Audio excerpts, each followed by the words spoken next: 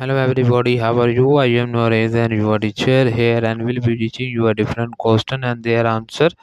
So I welcome you on classtheta.com where we'll be discussing questions. So let's get on the question. So our today question is all of the following are organic sources of the nitrogen except multiple choice of proteins of ammoniums or urea of DNA. Pre the correct answer of the question is the organic sources of the nitrogen among the option are proteins, urea, DNA.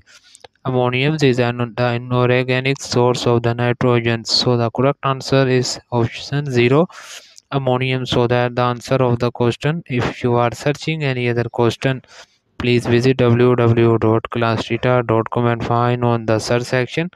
If you have any question to ask, there are sessions on the right side of the website fill the form and will be answering you as soon as I can. Thank you for watching this video. Please do not forget to like, share, subscribe our channel and next question. Bye bye.